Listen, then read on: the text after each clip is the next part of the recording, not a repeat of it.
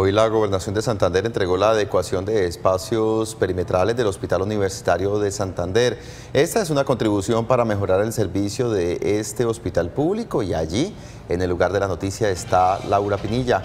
Laura, buenas tardes. ¿De qué se trata esta entrega?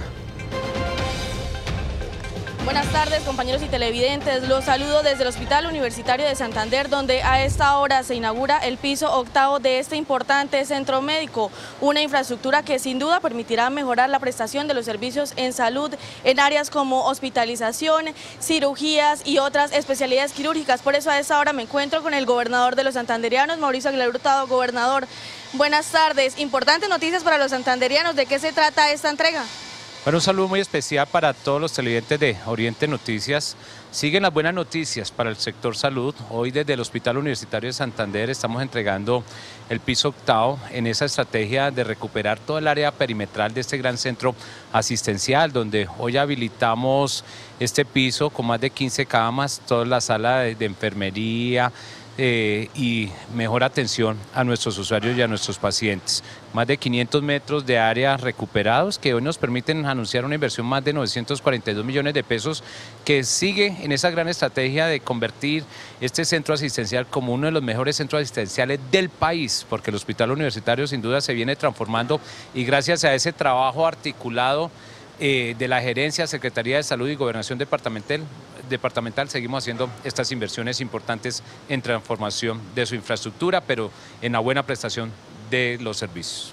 Gracias, gobernador. También me encuentro con el gerente del Hospital Universitario de Santander, el doctor Julián Niño. Doctor Julián, este proyecto se ha entregado en diferentes etapas. ¿Qué otras entregas esperan para este año? Bueno, con el gobernador mmm, tuvimos un plan de diseño en los cuatro años que no solamente involucra el tema de infraestructura hospitalaria, sino también el tema de la calidad y humanización. Eh, como ustedes saben, el señor gobernador lo incluyó en su plan de desarrollo. Esperamos que todo lo que se está haciendo en inversión tecnológica, eh, en calidad e infraestructura nos permitan eh, el sueño de tener este hospital acreditado. el próximo mes, señor gobernador, como usted lo sabe, entregamos el piso 10, unas camas de intermedio neonatal. Esperamos también hacer la entrega de otros servicios que estamos recuperando. ¿Cuál es el, fin de todo esto?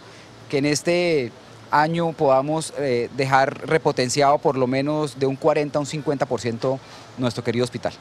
Gracias, gerente. Importantes noticias a esta hora, la entrega del octavo piso del Hospital Universitario de Santander, un proyecto que tuvo una inversión de alrededor de 940 millones de pesos. Hasta el momento esa es toda la información. Yo soy Laura Pinilla para Oriente Noticias. Estamos informando.